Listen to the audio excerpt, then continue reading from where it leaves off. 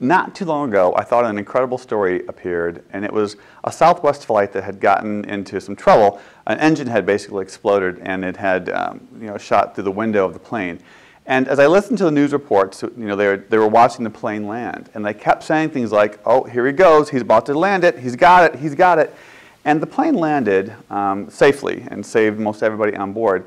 But what was interesting was the word he, because what we learned shortly after the plane had landed the captain, the pilot of that particular airplane, was female. Uh, Tammie Jo Shults from Southwest Airlines, and she's um, been a, you know, captain and a pilot for a long time. But I, I, thought to myself right then, you know, what, why would we pay a female pilot any different than we would a male pilot? And it's just an illustration of how this plays out in day-to-day life. And I'm grateful that she was so good, she landed the plane. She did what any pilot should be able to do.